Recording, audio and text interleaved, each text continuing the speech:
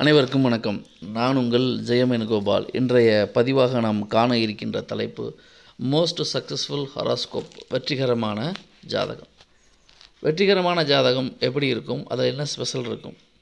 அப்படிங்கிறத இன்றைய பதிவில் நம்ம பார்க்க போகிறோம் பொதுவாகவே ஒரு ஜாதகத்தில் லக்னாதிபதி ஃபஸ்ட்டு வலுவாக இருக்கணும். ரெண்டாவது ராசி அதிபதி வலுவாக இருக்கணும். இந்த இருவருமே ஒரு ஜாதகத்தில் வலுவாக இருந்துவிட்டால் பெரும்பாலும் வரக்கூடிய அனைத்து பிரச்சனைகளையும் சால்வ் பண்ணக்கூடிய கெப்பாசிட்டி இந்த ஜாதகருக்கு இருக்குது அப்போ லக்னம் லக்னாதிபதி இவர்கள் வந்து நல்ல நிலைமையில் இருக்க வேண்டும். அதுக்கடுத்து பார்த்திங்கன்னா கேந்திரங்களிலோ அல்லது திரிகோணங்களிலோ குறைந்தது இரண்டு கிரகமாவது இருக்க வேண்டும். அப்படி இருக்கிறது அப்படிங்கிறது ஒரு நல்ல அமைப்பு. கேந்திரத்திலும் கிரகம் இருந்து திரிகோணத்திலும் கிரகம் இருந்தால் அதுவும் அற்புதமான அமைப்பு. சரி இது வந்து ரெண்டு ப்ராப்பர்ட்டி பார்த்தாச்சு. லக்னம் லக்னாதிபதி ராசி ராசி அதிபதி அப்புறம் கேந்திர திரிகோணங்களில் கிரகங்கள். இதை பார்த்துட்டோம். அதுக்கடுத்து பார்த்தீங்கன்னா ஆறு எட்டு பன்னெண்டில் அதிகமான கிரகங்கள் இருக்கக்கூடாது. ஆறாம் இடத்துலையோ எட்டாம் இடத்துலையோ பன்னெண்டாம் இடத்துலையோ எந்த கிரகம் இருக்கக்கூடாது. ஆறு எட்டு பன்னெண்டு அதிபதியின் சாரத்தையும் எந்த கிரகம் வாங்கியிருக்கக்கூடாது. ஆறு எட்டு பன்னெண்டு இந்த கிரகங்கள் லக்னத்தையோ லக்னாதிபதியோ ராசியோ ராசி அதிபதியோ பார்க்காமல் இருக்க வேண்டும். அப்படிங்கிறது மிக அருமையான அமைப்பு. சரி இந்த மூணு ப்ராப்பர்ட்டி பார்த்தாச்சு. அதுக்கடுத்து சொல்லப்படுகின்ற கர்ணநாதன் என்று சொல்லப்படுகின்ற கிரகம். கர்ணநாதன் என்று சொல்லப்படுகிற கிரகம் ஆட்சியாகவோ உச்சமாகவோ இருந்துவிட்டால் அது வந்து மிகவும் நல்ல பலனை ஜாதகருக்கு தரும். அதுக்கடுத்து யோகி.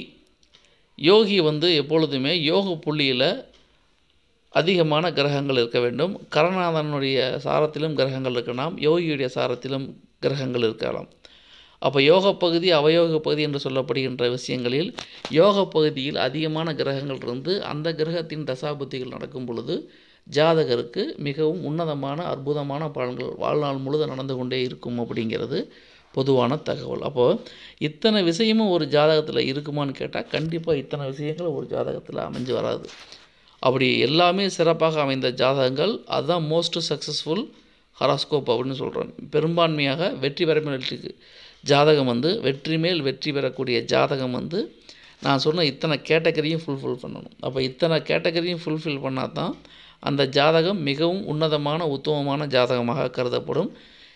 எல்லாத்துக்கும் எல்லாமே வரணும் அவசியம் கிடையாது. சில ப்ராப்பர்ட்டி கரெக்டாக வந்தாலே அந்த ஜாதகம் வலுவான ஜாதகம் தான். இருந்தாலும் எத்தனையோ பேர் போட்டியில் கலந்துக்கிட்டாலும் முதலில் வருவோர் தான் கோப்பையை தட்டி செல்கிறார். அந்த அடிப்படையில் மிகவும் எல்லா கிரகங்களும் சிறப்பாக அமைந்தால் மட்டுமே அவர் வாழ்வில் பெரும்பான்மையான விஷயங்களை ஜெயிக்க முடியும் சாதிக்க முடியும் அப்படிங்கிற விஷயத்தை உணர்ந்து கொண்டு இவை அனைத்தும் பொது பலன்களே. தனிப்பட்ட ஜாதகத்தை பொறுத்து வேறுபாடுகளும் மாறுபாடுகளும் உண்டு அப்படிங்கிறத நாம் மறந்துடக்கூடாது. ஒவ்வொரு ஜாதகமும் ஒவ்வொரு பலனை சொல்லும். ஒரே விதி ஒரே மாதிரி அனைவருக்கும் செயல்படாதுங்கிற கான்செப்டை முதல் புரிஞ்சுக்குங்க.